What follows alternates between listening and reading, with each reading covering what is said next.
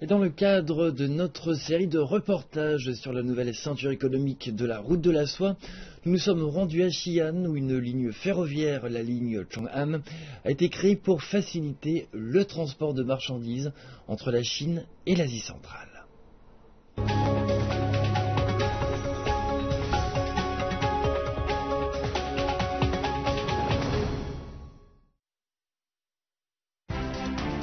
La ville de Xi'an ambitionne de devenir un centre logistique pour le transport de marchandises sur la nouvelle ceinture économique de la route de la soie.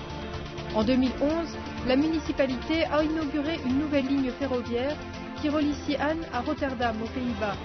Nous avons voulu en savoir plus sur cette ligne, baptisée du nom que portait la ville de Xi'an à l'époque des caravanes de la route de la soie, Chang'an. L'an dernier, nous avons envoyé trois trains. Cette année, nous en avons déjà fait circuler 20. Donc en tout, nous avons fait circuler 23 trains depuis l'ouverture. Le train part maintenant tous les samedis et arrive en 76 heures à Alachanko. Ensuite, il passe au Kazakhstan et il continue vers l'Asie centrale, la Russie et l'Europe. À Alachanko, le train passe la frontière pour entrer au Kazakhstan. Il y a ensuite deux lignes. L'une se rend en Ouzbékistan et au Turkménistan, l'autre traverse la Russie pour rejoindre la Pologne, l'Allemagne et enfin les Pays-Bas. L'ouverture de la ligne a favorisé l'exportation des produits des provinces de l'ouest de la Chine vers l'Asie centrale. On transporte des machines, des équipements de forage pétrolier ou encore des produits d'usage courant comme les jus de fruits. Au mois de juin, on a envoyé trois trains avec plus de 680 tonnes de marchandises. En août, ce chiffre est passé à plus de 3700 tonnes. Cela a fortement stimulé le secteur de l'export dans le Shanxi. La ligne Chang'an offre également de nombreux avantages aux entreprises qui font transiter leurs marchandises par ce biais.